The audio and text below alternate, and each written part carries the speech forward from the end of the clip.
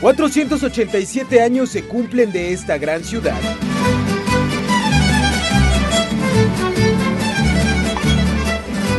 Todo comenzó un 16 de abril de 1531. La leyenda cuenta que Fray Julián Garcés tuvo un sueño, en el cual los ángeles bajaban a un valle donde con hilos de oro trazaban una nueva ciudad.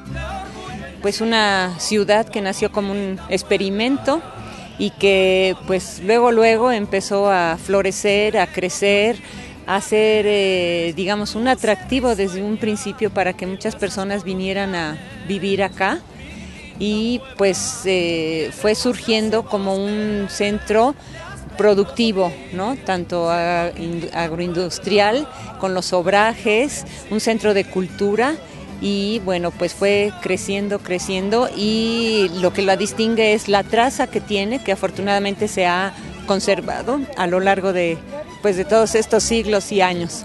Dicen los cronistas que su nacimiento fue producto de un sueño de Fray Julián Garcés, en el que unos ángeles bajaban del cielo entretejiendo cordeles para medir cuadras y proporcionar las calles.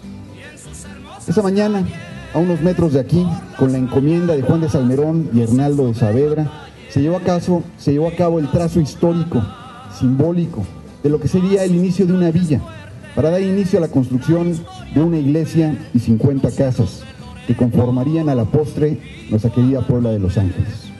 Para 1527 ya se habían fundado los conventos franciscanos, sin embargo no existía alguna villa de españoles, por lo que Isabel de Portugal, reina de España, ordenó mediante una cédula real, expedida el 18 de enero de 1531, que se buscara y se estudiara el sitio para la fundación de la Nueva Puebla.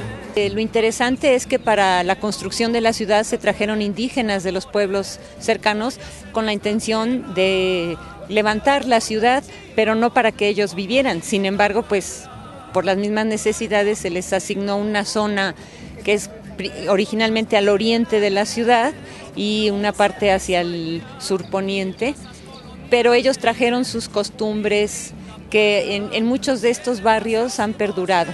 Originalmente se llamó Ciudad de Los Ángeles, poco después Puebla de Los Ángeles y actualmente Heroica Puebla de Zaragoza. Hoy también la Angelópolis está en la lista de ciudades patrimonio por la UNESCO y es por su arquitectura, historia y belleza colonial que nuestra ciudad es de las más visitadas.